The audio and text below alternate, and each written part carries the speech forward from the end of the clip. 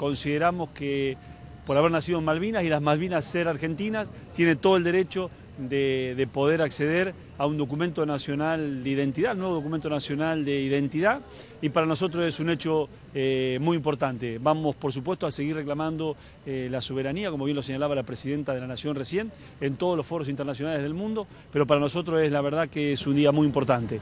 Eh, importante por lo que significó Roberto Fiorito, el teniente primero Roberto Fiorito, y por la decisión de James de solicitar el documento nacional de identidad argentino, habiendo nacido en las Islas Malvinas. Él considera que haber nacido eh, en las Islas Malvinas, eh, es haber nacido en territorio eh, argentino, así que nosotros, bueno, leemos, la presidenta le acaba de entregar el documento nacional de identidad. La Argentina es un país de, paz, nosotros reivindicamos lo que fue la pelea por Malvinas, el reconocimiento de este gobierno es un reconocimiento que tal vez nunca tuvo con ningún otro gobierno, pero creemos que debe seguir peleándose la soberanía en los foros internacionales y dentro de la paz y del diálogo, no hay otro camino.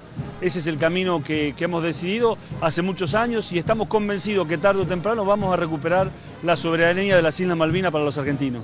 Hoy es un día para, para mí para continuar sin rencor de, los años atrás, ¿no? y la guerra. Y, también yo quiero decir que, que Hoy para hacer este estoy pensando que 10, 20 años atrás es imposible, pero con, el gobierno de Cristina y Néstor antes es, es posible hacer cosas así y, y por eso estoy acá hoy. Sí.